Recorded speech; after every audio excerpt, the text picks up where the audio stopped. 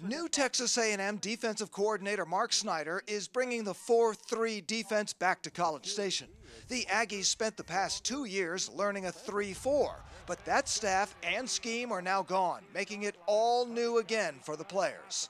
There's a little bit of difficulty there. There's a amount of, of change that um, can be difficult at times. Um, but I tell you what, the kids have done a good job thus far. They've they've bought in, I think, and and I think they like going this way as, as opposed to going this way a little bit more. So it's been a nice transition so far for them. I know in the last few years I've talked with a lot of teams who have made the transition to a 3-4, which has some great challenges. What's the most difficult thing taking a team back to a 4-3? Well, it's, it's depth along the defensive line. When you look in the SEC, they're just loaded with defensive linemen. I mean, they're, they're eight, nine, ten defensive linemen. We're not quite there yet. After having made the conversion to that 3-4 defense, what's it like to go the other way to a 4-3?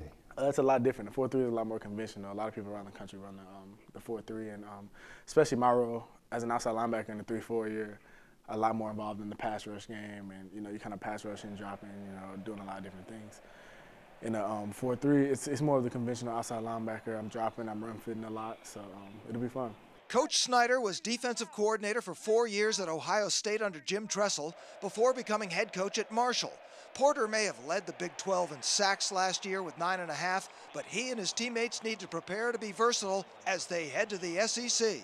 Last year on third down, I kind of had it in my head that I needed to get to the quarterback and I needed to, uh, you know, create a lot of pressure and, and, make him make a bad decision back there. But, um, you know, this year I'm, I'm still gonna be rushing the pass a little bit. You know, Coach Snyder likes to blitz a lot, so um, hopefully, I'll get there a little bit on third downs. I think that if you want to be really good on defense, you have to be multiple. You can't just be one thing. And, and, and I think the SEC is very Big Ten like. You know, you've got the Northwesterns of the world, you got the Arkansas of the world, you got the Michigans of the world, you got the LSUs of the world.